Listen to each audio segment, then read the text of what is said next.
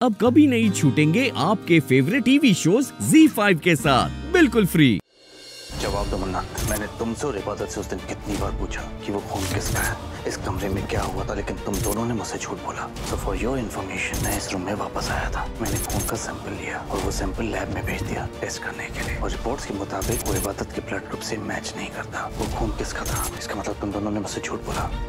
कहीं वो खून उस तुम सही सोच रहे हो सुभान वो खून फरहान का ही था। उस रात तुम्हारे आने से पहले फरहान मेरे कमरे में आया था। जी फाइव ऐप डाउनलोड करें और देखें सारे एपिसोड्स बिल्कुल फ्री